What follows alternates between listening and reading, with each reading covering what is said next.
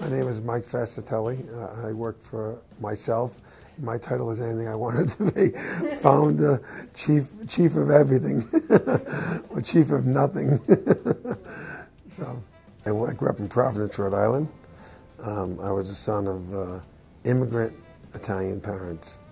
They, um, one was a seamstress, and one was a factory worker. I went to the University of Rhode Island. People always ask me why, because I didn't get into Brown, which was around the corner from me. Um, I graduated in industrial engineering from University of Rhode Island. Um, I wanted to be a basketball player, player but I was, had a short-lived college career. Um, then I went to work for a couple of years. I was a deferred admit to the Harvard Business School, and I went back, graduated in 78 from URI, and I basically went to work for two years and went back to business school starting in 1980 and graduated from Harvard Business School in 1982. I worked as a production manager for Bristol Myers in something, uh, in a plant in Buffalo, New York, um, making Alpha Keri, Descomix, uh, Acme, and healthcare products. Yeah, that's what I went to, you know, far away from what I do now, but that's how I started. Well, I went, I, uh, of, that was my first job out of college, but I had been accepted to business school pending two years of work. And unless you did something like, you know, something really bad during those two years, they, they you know, you got to prove to go back in. So I had the interesting phenomenon of knowing I was going back to school when I went to work. Um, so um, at the end of two years, I went to business school, and business school was, you know, I changed, you know, changed courses after the end of business school to go to, into the consulting business. I arrived at Goldman Sachs sort of by accident and by a not a linear fashion. I, after graduating from Harvard Business School, I went to work for a company called McKinsey and Company, which was a major consulting firm. I had actually worked for them in the summer in business school, and I thought I, want, I had an engineering background. I was a production guy, and consulting was a good application of a lot of that background. I never really saw myself going into financial services at that point or anything like that, but I was always interested in real estate. So um, Goldman had been hiring a lot of people in other banks like Goldman, and they were trying to do some experimental hiring with lawyers and consultants to see if they could make it in investment banking. And I think I was one of those experiments, and I moved over to um, um, Goldman Sachs from McKinsey uh, three years out of business school. I left McKinsey because I like consulting a lot, but I wanted to be more in a transactional, real environment, less telling people what to do and actually doing. As a consultant, you do a lot of advising, but you don't actually do. And I went to Goldman, which is a fast-paced environment. And that's, um, when I went to Goldman, I was offered lots of opportunities to go into different areas of Goldman, a few opportunities to do that.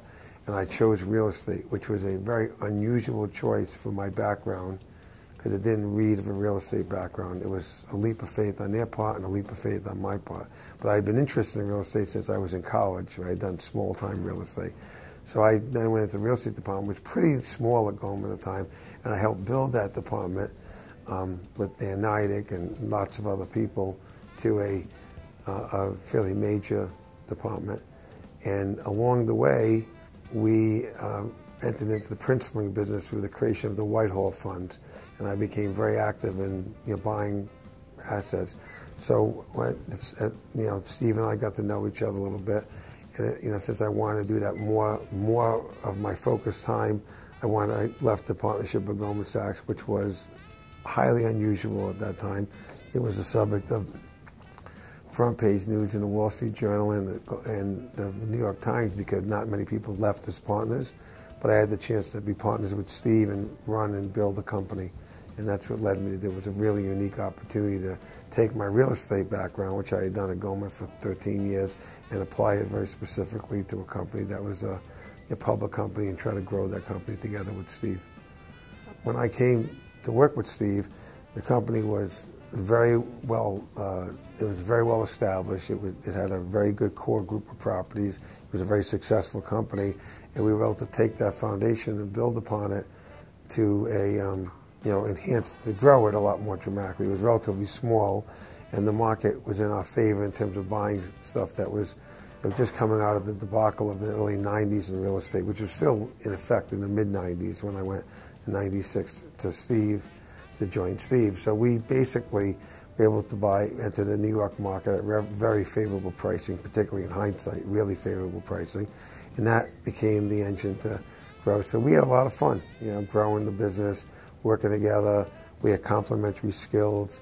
Um, Steve was 15 years older than me, so it was like a, you know, a brother relationship. And, you know, we were really close, and uh, we had a good run, and uh, had made some mistakes along the way, but it was uh, a lot of fun. It was a, uh, we took the company from, you know, just under three billion to over 30 billion. So it was a really exciting, you know, 16 years, you know, not every one of them was exciting, but certainly for the first, you know, first years it was really exciting, and then you know got a little tougher to run and grow a big company. So we had a lot of did a lot of great deals. But I think I'm most proud of helping build a company that's a got a great collection of assets that have proven the test of time and still have a lot of legs in them to keep growing with you know with the market or better than the market. And along with that, maybe more importantly, picked up um, a you know built and recruited and retained a great group of people, talented people who were kind of best in their field, you know, across the board from you know finance, acquisitions, development, you know, capital markets, CFO, you know, public markets, uh, just leasing. You know, we just collected a, um, a great group of people who are partners in that endeavor, and that's something that can't be easily replicated. The portfolio we had and the people we had. So when you look, when I look back at it, I'm proud of that. Sometimes I walk around the city, and one of the things I like about real estate is it's tangible. You can say, oh, you know, I did that deal, or I built, I helped build that building, or I was part of the team buying that, and it's kind of a, you know, a tangible thing. So I'm proud of what you know the company has, and I still think its best days are ahead of it.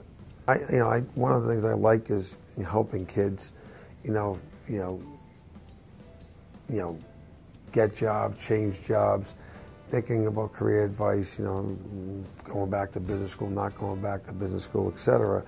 And usually I give them, you know, it's, it's very similar. There are occasional differences. Go with the best firm you possibly can to start your career. Quality really matters. You know, if you look at everything, the art market, the real estate market, the quality is outperformed over time. So if you have a chance to go to work on with the best companies, Goldman Sachs or know, the equivalent of that in real, you know, real estate companies, the Vornados of the world, the Blackstone funds of the world. You basically go to work with the best franchise and the best people you can. You know, it may not be the totally um, um, um, fastest way to the to you know where you want to be, but it's a very good risk-adjusted way to get great experience and to be able to do really interesting things as you move forward.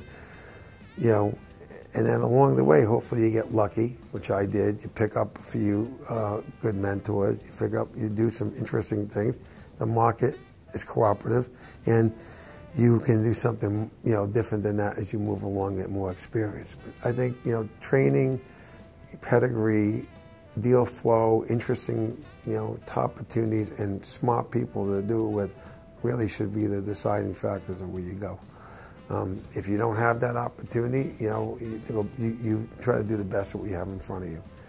Um, I think, you know, I, my uh, brother say always be better lucky. It's better to be lucky than good. I, I think there's some elements. You, you really have to work hard, put yourself in right, put yourself in the right situation, and then you make your own luck. But it's good to be lucky too.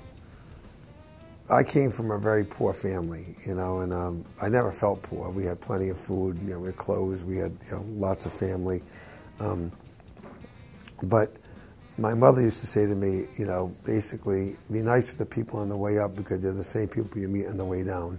And you want to lend your helping hand, not stomp on your hands and ignore you. So, you know, I always kind of felt like if you were, you were fortunate enough to be successful, you should give back. And um, that could be time, it could be economic success and financially give back. It could be with advice, you know, counseling, not making the same mistakes that you did, uh, helping kids, you know, helping somebody, you know, out of a jam or somebody making a positive move. So it's just sort of, you know, was something I, I felt strongly about. So, you know, with Child Mind Institute was accomplishing a lot of everything because we were able to financially support a growing a new startup organization. Put a lot of time and passion to help it think through its strategy. We had Harold Koplewicz, who's a great leader of that. Brooke who was one of the founders of it. So we were able to get a great team of board people to endorse it. And it helps kids. It helps people who don't, who have, you know, ADD or dyslexia or anxiety or traumatic things, you know, they haven't had happen to them in their life, even worse, the shootings and all these horrible things that can happen. And it helps, helps it, um, make people better, make families better, give people a better shot. So that's a direct on point thing to do, something that, you know, maybe is encapsulated all of those ideas. But there's a lot of great charitable institutions, so, you know, um, that's been one that you know, my wife and I have felt particularly strong about. I want people to think of me as a good guy, you know, that, that uh, I accomplished a lot. I never let it go to my head. I stayed true to my, my values and, you know, basically was, you know, John Weinberg used to say, people don't, some people grow and some people swell. And I always thought it was better to grow, not swell. And hopefully, you know, I, have been really lucky and really fortunate. You know, I've got, you know, had, you know, financial success beyond my wildest imagination. And I've been able to give back to, you know, institutions that matter to us and to people that matter to us. And hopefully um, my kids will, you know, will have a, you know, um, have the opportunity to do what they want to do, but feel passionate about it like I did, and have equal success and more. So that's all you want as a parent. You want your kids to be better off than you are, and as a, when you look back and you you you look back in your life, you want to have made impact on people's life, impact on the cities you worked in, impact on the organizations you had, and impact on the people you were close and you dealt with. So in the end, you know, you want to say, you know, you're a good guy, not, not that the guy was an asshole.